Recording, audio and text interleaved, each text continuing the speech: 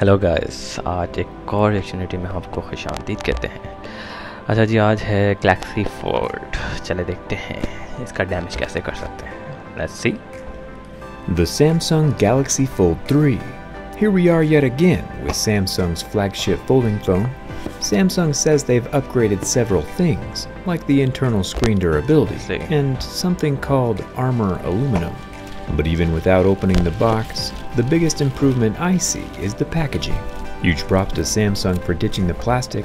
Plastic packaging is usually not recyclable and takes about 450 years to decompose in a landfill, which is crazy. Your plastic bubble wrap or packing material will be around for the next 25 generations. Your 20th great grandchild will still be able to find everything plastic that you've thrown away still chilling in the dirt, which is pretty gross. Sustainably sourced paper, on the other hand, can be recycled six times and decomposes in just two to six weeks. And more trees get planted to make it. Huge win for everyone, including the planet. Thumbs up to Samsung for making the switch. Let's get started.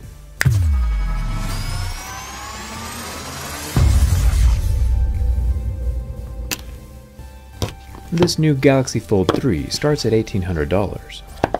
Pretty expensive for a phone, but this phone is rather unique.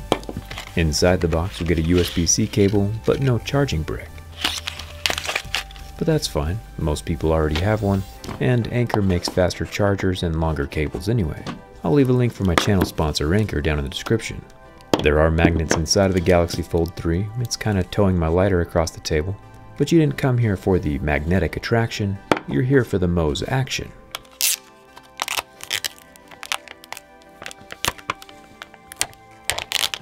And it looks like again this year we might see some carnage. The warning list turning on the phone is still a mile long, including no touching the display with a fingernail, only using the specially built S Pen Fold Edition, and you know, dust might cause damage, all while not removing any screen protectors.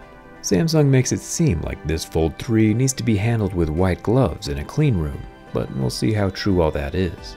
The Fold 3 is very similar in appearance to the Fold 2 and Fold 1, with a small gap between the folded screens, and a wedge shape when closed.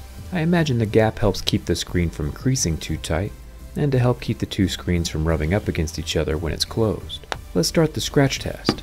The Fold 3 has two screens. The exterior front-facing screen does come with a removable screen protector. At least I hope this one comes off. The Mohs scale of hardness helps us differentiate between different materials, like plastic, which scratches at a level 2 or 3, glass, which scratches at 5 or 6, and sapphire, which scratches at a level 8 or 9. Samsung says they're using Gorilla Glass Victus on both the front and back of the Fold 3, and that matches up perfectly with our scratches at level 6, with deeper grooves at a level 7. The same slab of Victus glass is up protecting the 10 megapixel front-facing camera. It's as scratch resistant as the rest of the front screen.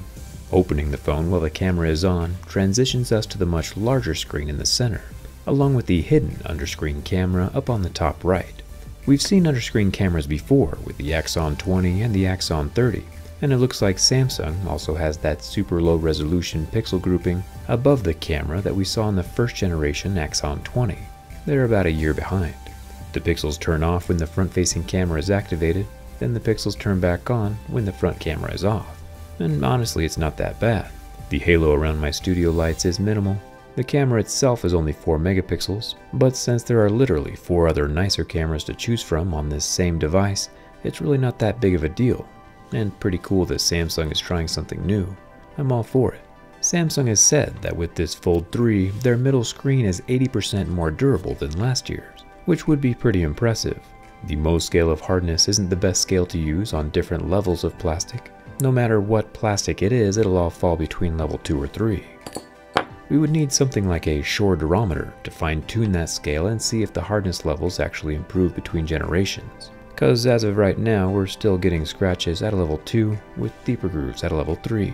And once again, my fingernail is still able to leave very noticeable marks on the surface. The display underneath the plastic might be 80% more durable, but it's still very soft on the surface, which is just something to keep in mind. The more we know what to avoid, the longer the phone will last and stay in good shape during its lifespan. The front camera is also tucked underneath this soft plastic layer and could get scratched, all 4 megapixels of it. Samsung has created a special Fold Edition S Pen stylus for this Fold 3, with a special spring-loaded tip to help relieve the pressure on the surface of the screen. It's a pretty strong spring inside. Pressing the tip of the stylus onto the screen, it does leave a slight indention onto the plastic. I'm only pressing about 50% of the spring's capacity, it's not fully locked out, and even at 50%, this is probably pressing harder than most people ever be drawing with the S Pen. Wiping off the display, it's pretty impossible to refine the marks I was making, so I would say that the S Pen is indeed safe to use on the screen. S Pen yes, fingernails no. Inside of the S Pen are some interesting things. We have the lower half of the pen with its removable and replaceable tip, along with the coil of copper wires that let the digitizers under the folding display sense where the S Pen is at even while it's hovering above the surface of the screen.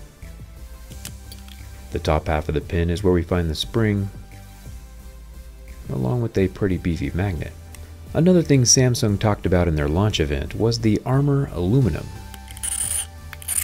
And I'm not sure what aspects of the aluminum are armored though, since it appears to scratch about the same as most other aluminum phones out there. The power button doubles as a fingerprint scanner, and the volume rocker is made from metal, the oval of plastic up here is probably for the 5G antenna, but we'll have to check that during the teardown. Folding the phone shut, we can scratch both top halves of the phone at the same time. We have a few microphones and a loudspeaker up here. We get some more aluminum on the hinge of the phone, along with some inlaid Samsung lettering, the same as last year. You can peel it out if you really want to, but it probably won't ever fall out on its own. Down at the bottom of the phone, we get our USB-C port, and the second stereo loudspeaker. And over here on the last of the six sides we haven't tested yet, we have the SIM card tray, which has room for one SIM card and no expandable memory. All of these things we've kind of come to expect from the Galaxy Fold series of phones. One thing I did not see coming this year though was water resistance. This guy is IPX8. The X means it's not dust proof, which is why I currently have a lot of dust in my hand, you might be asking, hey Jerry, how can a phone be water resistant but not dust resistant? Well, rumor is that Samsung has coated the internal circuits with an oleophobic coating. The coating can repel water without having to be watertight. Pretty cool technology, since it would probably be pretty difficult to plug up all the gaps and holes on a folding phone which has all those gears inside the spine. We'll have to check out the oleophobic coating during the teardown. With rocks, dirt, and dust spilling out of both ends, I think it's pretty safe to say that this is reasonably the most dirt a Fold could ever anticipate encountering in real life. We'll open and close it a few more times for good measure. Surprisingly though, the hinge is still as silent as the day it was made. No rocks, dust, or dirt is captured inside. Not sure if Samsung is still doing that internal bristle thing or not, just another thing we'll have to check during the teardown. But so far, the dust resistance is pretty impressive. I wouldn't take it to the beach or the job site, of course, but it's nice to know that it's not going to fall apart with the first speck of dust it encounters. The back glass is textured Gorilla Glass Victus, and for the rear camera units we have a 12 megapixel telephoto, 12 megapixel main sensor, and 12 megapixel ultra wide. Easy to remember when they're all the same and all protected by glass. Making our way around to the front screen, we see it's a 6.2 inch dynamic AMOLED 2X with a 120Hz refresh rate. After about 14 seconds, the screen does go black, and the pixels kinda glow a dark red. Interesting. Let's see if the same thing happens on the middle screen. The middle screen is the same dynamic AMOLED but includes some folding action. This guy is a square 7.6 inches and has the same 120Hz refresh rate. Oddly enough though, it lasts about twice as long on the burn test, with even less damage. The pixels only stayed a burned white color like we normally see on AMOLED displays, and even the plastic surface didn't suffer much damage, even after 30 seconds of fire. Not, you know, super relevant everyday use, but still interesting. The fingerprint scanner is over here on the side of the phone. It's a capacitive sensor built right into the power button, which is where personally I think they should all be. Not a huge fan of the underscreen fingerprint scanners myself, and after setting my thumbprint and adding some hardcore scratches to the side of the scanner, we can test it with everything appearing to work just like normal. Not too shabby. Finally, the bin test.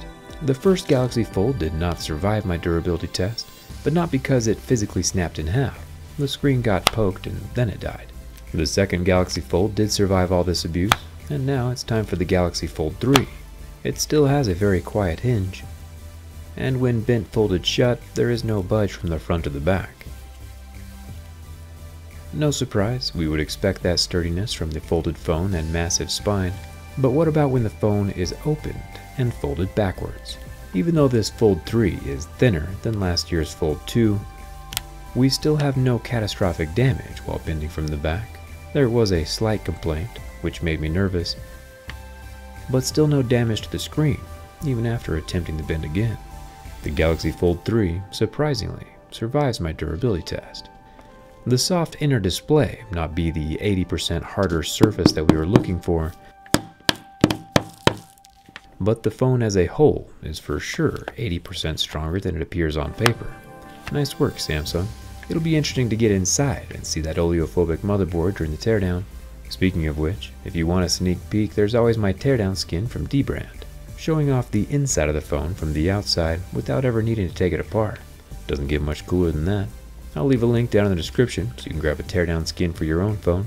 And let me know down in the comments, at what price point, if any, would you buy a folding phone? I'm curious. Hit that subscribe button if you haven't already. Come hang out with me on Instagram and Twitter. तो ये था Samsung Galaxy का testing अच्छा है, मज़बूत है। लेकिन fold काफ़ी थिक भी है। आप पहले चलते थे इस तरह के मोबाइल फोल्ड वाले। फिर से फोल्ड वाले आ गए, वो भी टच में आए अब तो। सही है, चल जाएँगे। आज के लिए यही था। Thanks bye